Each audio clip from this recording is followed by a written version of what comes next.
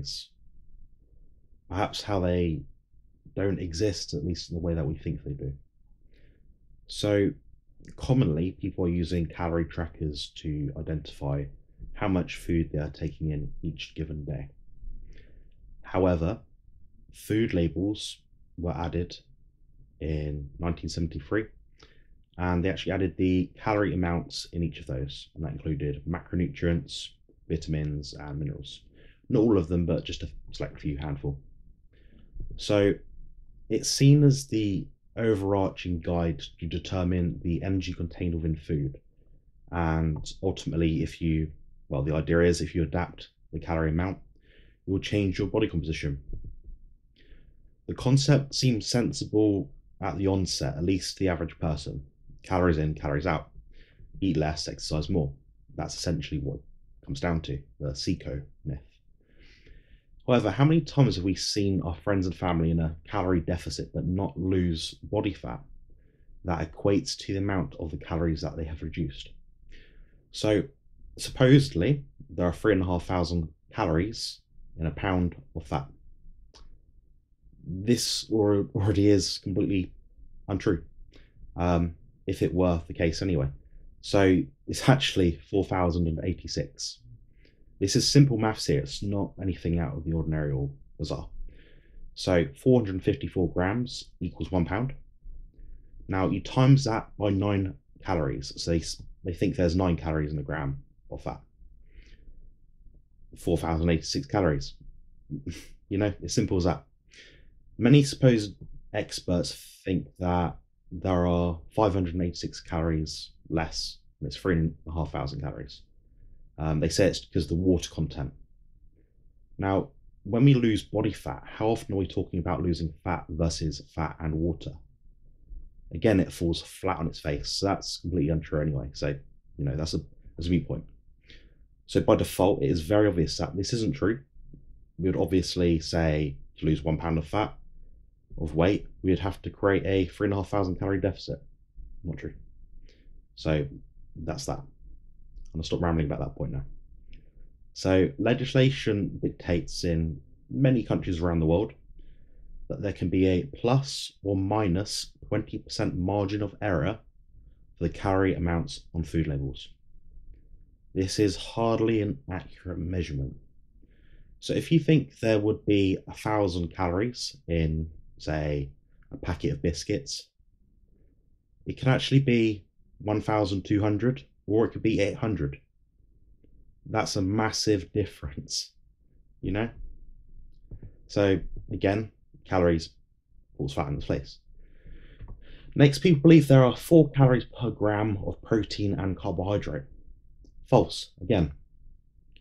Protein has a much higher thermic effect, perhaps 20 to 30%, compared to carbohydrates, which is probably around 5 to 10%. Fat is around 0 to 3%. So there we can see protein could be actually 3 calories per gram.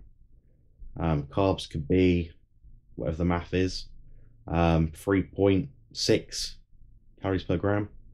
And fat could be just under 9 calories. Now, the type of saturation that a fat has will also affect the thermic effect, so you've got to take that into consideration as well. Therefore, the 449 calorie per gram approach principle was completely thrown out the window. Further adding insult to injury to proponents of the CICO model. People often tell me it's not perfect, but it's a measurement we have. It's a measurement, the wrong measurement. It's one measurement of a different currency. So that idea falls flat on its face immediately. Calories are a measurement of heat. We don't use grams to work out how much petrol to put in an engine. We'd use litres or gallons. So the problem here is calories were calculated using a closed thermodynamic system. It's a complex equation which I won't pretend to know off the top of my head but it doesn't stay true or hold true in the human being. We are an open thermodynamic system. We lose heat, we gain heat. We have counteracting hormones that affect nutrient partitioning, so how it goes into fat versus muscle. The body uses ATP as its energy currency. It cannot and can never, ever, ever absorb calories. So you heard me ramble on about this for a little bit, and you know, I think that should kind of make my standpoint here clear. But what is the solution? You know, it's all good for me saying this, but what are we meant to use? Um, now, this is something I've been a proponent on for a very long time, and it's actually what bodybuilders have been using for decades. Now, they tend to use meal plans. So, for example, they might have 200 grams of chicken breast, 200 grams of rice, and 50 grams of broccoli, for example. Um, now, all they do to alter their body composition is perhaps increase the protein amount, or perhaps decrease the fat amount, or any combination of above. And they might also do something with the carbohydrate amounts. So I'm going to try and provide the solution to this problem. So generally my viewers consume a carnivorous diet with very little to no intake of processed foods.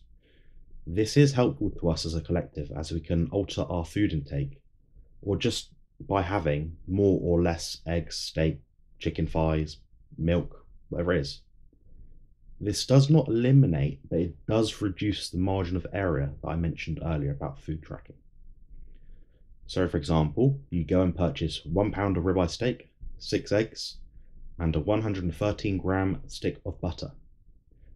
That is an arbitrary quantity, it's not the point here, but as a whole, we have somewhere around 130 grams of protein, 4 grams of carbohydrate, and 190 grams of fat.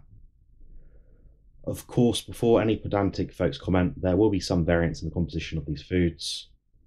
You know, how big is the egg? how how much fat is in the steak. You know, there's different cuts of fat trimmings that you can get. That's the that's besides the point I'm trying to make here. The point is, if you're on a mixed diet and you go from eating two Snickers bars a day to one, you have decreased your food intake, evidently. If you do this for long enough, you'll see a difference in your body composition. Most likely, you'll lose body fat. Now, if you eat that amount each day and lose body fat, fat you do not need to be in your body to be healthy, you can be certain that that method was effective. You might continue this for a few more days or even a few weeks. However, there will be a point where your body reacts to this through various feedback mechanisms. It will say, I'm hungry, this is uncomfortable, feed me now. What happens thereafter will affect your health, physical, and mental performance, and so on. So this is where an experienced nutrition coach comes in, like myself perhaps, Bart Kay, or another that will consult you with and guide you towards whatever your goal is. We would use objective and subjective measures to identify what you need to address and show you the tools that you have available to reach that goal. Now, before we wrap this up, I'll lay out some information I came across recently. This is the mass balance equation. The concept is not my own, and I do not take any credit for it. This is just something I'm bringing across to show you guys. So, there was a study performed in 2020 which compared the energy balance theory, which is the CICO model, with the mass balance model. Early and the energy balance theory is basically calories in, calories out, and the mass balance model is looking at the total macronutrient grams of food and explains that reducing these total grams reduces body weight you know, if you put less food in, you'll be a lower body weight. And it seems to make sense. The author of the study now he states that body weight fluctuations are ultimately dependent on the difference between a daily nutrient mass intake and daily mass excretion. For example, if you go from eating 200 grams of protein and 200 grams of fat per day to 100 grams of each, you'll lose weight. If looking to improve your body composition, however, this is another situation where consulting with a professional comes in handy, and they will tell you which one or both to alter. So I'm just going to plug in this graph which shows you pretty much what the, the study was entailing. I'll link a website below which you can browse at your own leisure. The gist of it is that your weight will be more predictable if you use the mass balance model than the energy balance calories in, calories out idea. To simplify this even further, if you take in 1 gram of protein, your mass will increase by 1 gram. The amount lost when this is excreted will be affected by how the body utilizes this 1 gram of protein. Now, it could contribute to new muscle tissue, grow more hair, nails, skin perhaps. The, the balance of your weight can also be affected by losing dead skin cells. So, you know, there's a lot to unpack here. So it's not as clear cut as eating a gram, gaining a gram of protein. You know, it doesn't quite work that way. But when the protein is eventually used, excreted, oxidized, whatever, that is a point where the law of conservation of mass changes. The mass is now somewhere else in a different atomic structure, but it has not vanished. In the comments of this video, I expect to see someone say, I counted calories and I managed to lose weight. Yep. All I'd say at this point in the video is that you have reduced your macronutrient grams, so you affected your mass balance, which caused you to lose weight. Calories are, after all this time, still measurement of heat. I hope this video was useful, and if you take anything away from it, please consider this. The simplest explanation is usually the right one. Navicular economy.